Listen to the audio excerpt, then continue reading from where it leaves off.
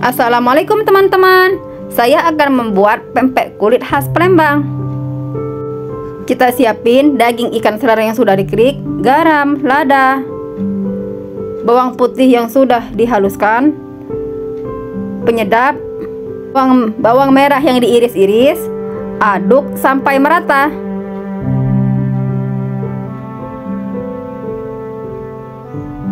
Sekarang kita kasih telur.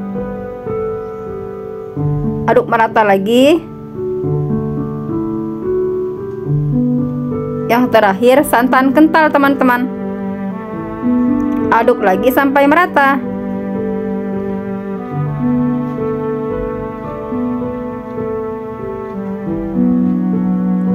Terus masukin tepung tapioka secara bertahap. Kalau teman-teman tidak mau ketinggalan video saya selanjutnya, silakan like, komen, dan share. Jangan lupa subscribe dan tekan tombol lonceng ya. Teksturnya seperti ini ya teman-teman. Sekarang kita siap balur dengan tepung terigu dan tapioka. Ambil adonannya sekitar 2 sendok makan. Kita lumuri dengan tepung terigu dan tapioka tadi. Kita pipihkan Sekarang siap kita goreng. Di minyak yang sudah panas ya teman-teman.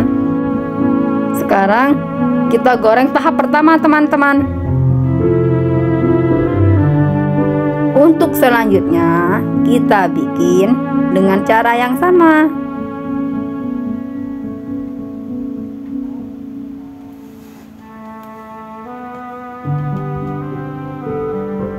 Sekarang kita balik teman-teman angkat dan tiriskan. Untuk tahapan pertama ini, kita goreng setengah matang ya teman-teman.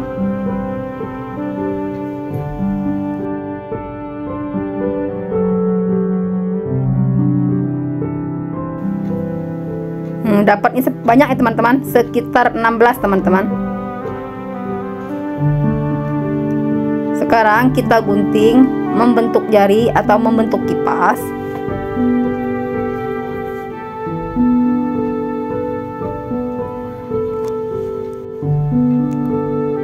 Untuk plating teman-teman kita goreng 6 pempek ya teman-teman. Nih kita goreng tahap kedua teman-teman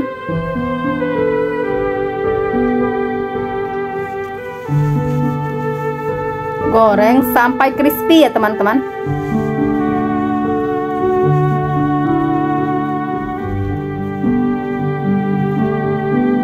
Ini udah crispy teman-teman. Kita angkat dan tiriskan.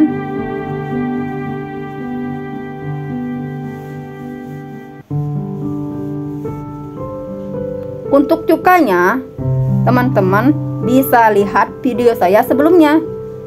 Selamat mencoba Terima kasih teman-teman. Jangan lupa tonton video saya selanjutnya.